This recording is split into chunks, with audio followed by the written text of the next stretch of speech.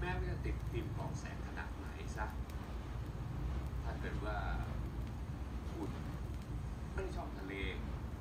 หรือว่าคิดอยากจะนั่งอาบแดดทั้งวันแล้วก็อาจจะไม่ถูกใจนะครับ ผมแนะนำว่าไปดูบ้านตัวจริงก่อนจะดีไหมครับ คุณต้องจัดเป็นความถึงว่าอย่าง